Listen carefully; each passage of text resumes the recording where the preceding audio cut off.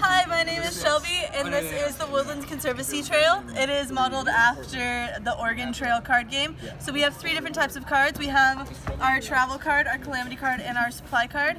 So we have our start, where you start at CI, and you go ahead and grab a travel card. Now this tells you something that happens. This one, Chase flies a drone overhead, and nothing happens. So as you continue on, certain things will happen, like you might have to draw a calamity card. Now our calamity cards have different things, like death by blackberry, you run out of water so you lose a turn, you catch the yellow jack, lots of things that can happen that absolutely kill you, like mosquitoes. now, um, we also have our supply cards, which are very important. They can help you um, survive something that happens in trail or a calamity.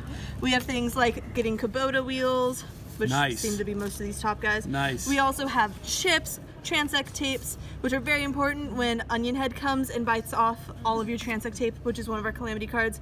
And you win by surviving the trail. Nice. And now, how? And now have you have you played a full round or several rounds of this? We've played a round of it. And how long does it does a, typical round of Woodlands Trail take? Uh, it took us about half an hour, though we believe that if you uh, really got into it, it could take up to an hour. And then your final destination is to make it back to CI. Excellent. Nice. Woohoo!